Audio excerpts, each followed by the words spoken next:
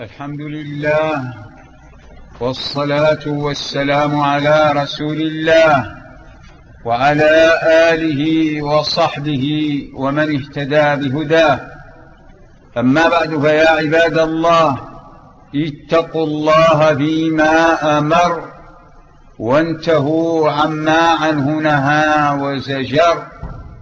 يا أيها الذين آمنوا اتقوا الله ولتنظر نفس ما قدمت لغد واتقوا الله إن الله خبير بما تعملون ولا تكونوا كالذين نسوا الله فأنساهم أنفسهم أولئك هم الفاسقون لا يستوي أصحاب النار وأصحاب الجنة أصحاب الجنة هم الفائزون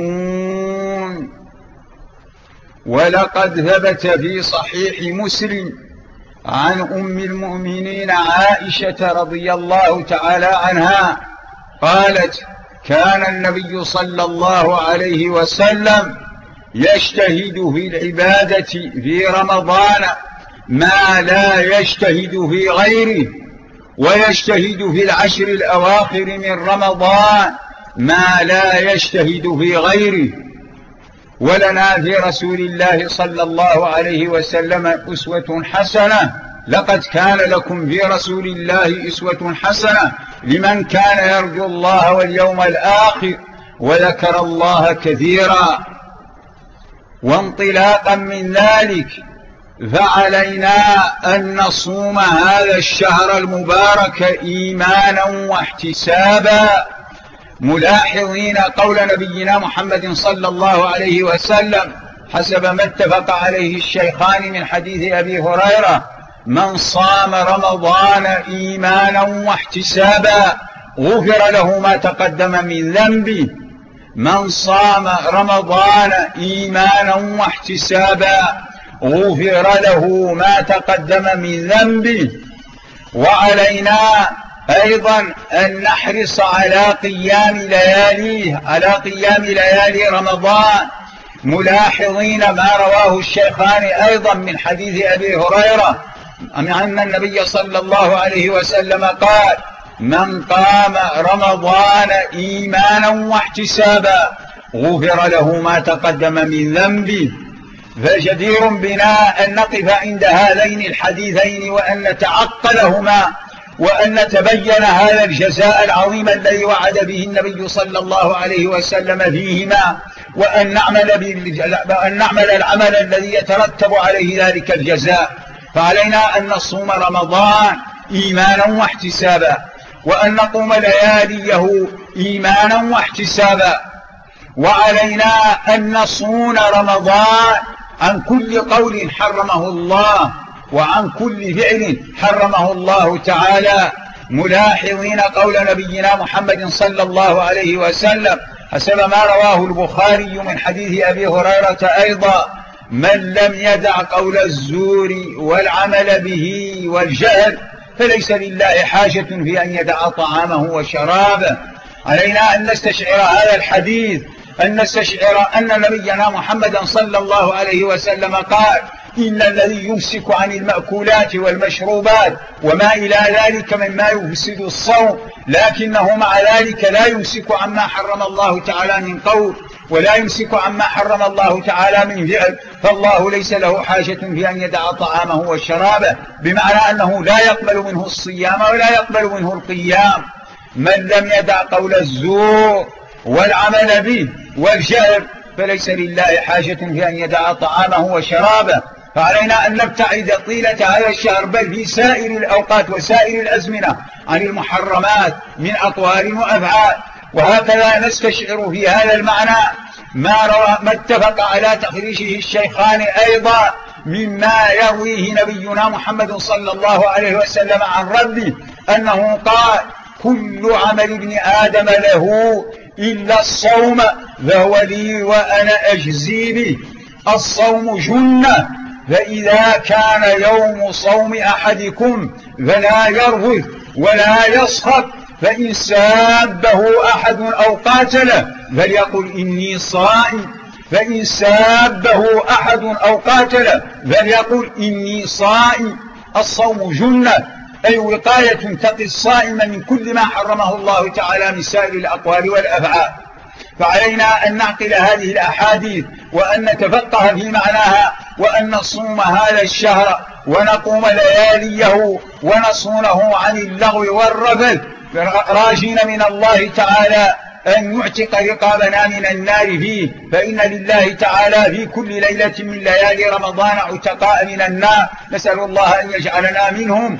ثم أيضا من, من الأعمال الصالحة التي علينا أن نعمل بها أن ننفق في سبيل الله حسب الاستطاعة. فعلى الموسرين أن يكون أن يعرف فيهم الجود وأن يعرف فيهم جود أكثر في رمضان. فلقد روى البخاري أيضا بل روى الشيخان أيضا من حديث عبد الله بن عباس أنه قال كان النبي صلى الله عليه وسلم أجود الناس وكان أجود ما يكون حين يلقاه جبريل في رمضان يدارسه القرآن.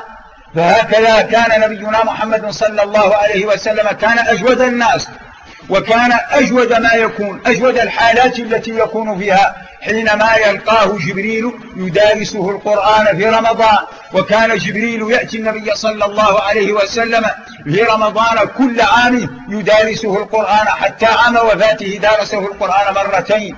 يقول ابن عباس فلا رسول الله صلى الله عليه وسلم حين يلقاه جبريل يدارسه القرآن أجود بالخير من الريح المرسلة. فعلى المؤسرين أن يعرف فيهم جود أكثر في رمضان أن ينفقوا في سبيل الله ملاحظين ما وعد الله تعالى به المنفقين في سبيله. من من مضاعفة الأجور. مثل الذين ينفقون أموالهم في سبيل الله كمثل حبة أنبتت سبع سنابل في كل سنبلة مئة حبة. والله يضاعف لمن يشاء. والله يضاعف لمن يشاء. ومن جملة الإنفاق في سبيل الله خصوص تفطير الصائم. إعداد الفطر الإفطار للصائم. ولو تمرا وماء أو تمرا وملقى أو ما تيسر. إعداده أيضا فيه الأجر الكثير فيه الثواب العظيم. فلقد روى الترمذي بسند حكم عليه بالصحة من حديث زيد بن خالد الجهني عن نبينا محمد صلى الله عليه وسلم أن من فطر صائما كان له مثل أجر ذلك الصائم الذي فطره من غير أن ينقص من أجر الصائم شيئا. فعلينا أن نحرص على سائر أنواع أعمال البر وخصوصا هذه الأعمال في شهر رمضان. على رجاء من ربنا أن الله يتقبل, يتقبل منا أعمالنا الصالحة وأن يغفر لنا ذنوبنا ما قدمنا منها وما أخرنا وما أسررنا وما أعلنا وما هو أعلم به منا. إنه ولي ذلك والقادر عليه جعلني الله وإياكم من الذين يستمعون القول فيتبعون أحسنه. أولئك الذين هداهم الله. وأولئك هم أولو الألباب. الحمد لله وحده والصلاة والسلام على من لا نبي بعده. أما بعد فإن من العمل الصالح الذي يتعين علينا أن نقوم به في رمضان وفي غيره تعاوننا على البر والتقوى. وابتعادنا عن التعاون على الإثم والعدوان. قال تعالى وتعاونوا على البر والتقوى ولا تعاونوا على الإثم والعدوان. وإن من التعاون على البر والتقوى أن نتعاون جميعا فيما بيننا وأن نعمل جميعا فيما بيننا على استتباب الأمن والاستقرار في بلدنا. فكل عليه أن يقوم بما يمكنه ويناسبه في هذا السبيل في سبيل استتباب الأمن والاستقرار في بلدنا. فالأمن والاستقرار هما رأس المال. فإذا تحقق الأمن والاستقرار يتحقق إن شاء الله تعالى درء المفاسد وجلب المصالح. وإذا لم يكن أمن ولا استقرار فلا درء لمفسدة ولا جلب لمصلحة.